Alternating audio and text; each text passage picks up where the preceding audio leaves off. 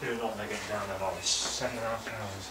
Oh, God, it's a long way. It's an awful long way to go. You should only took three. How did he cope? It was fine. Yeah. Yeah, really good. in it. Because I was at a bit country. About an hour. Was he, in, Started with five, so- was he in the boot though? No, because we had a, I think, four seats down, so I can't move, and then he just sort of lied on top of whatever was there and got on with it. For a swim in the river, didn't we? When he first took it, he'd never seen the sea before. Oh, how was he with the sea? He, first he was terrified. He was like,